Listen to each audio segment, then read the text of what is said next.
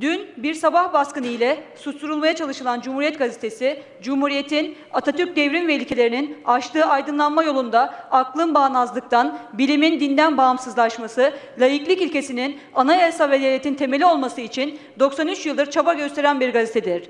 Hukuki dayanağı ve inandırıcı olmayan bir iddiayla gazetenin yönetimine el koyma ve yazarlarına susturma çabaları evrensel değerler olan basın özgürlüğüne, halkın haber alma ve gerçekleri öğrenme hakkına açıkça aykırıdır.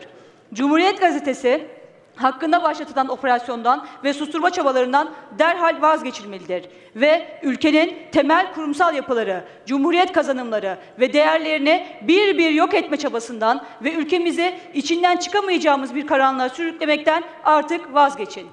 Teşekkür ederim.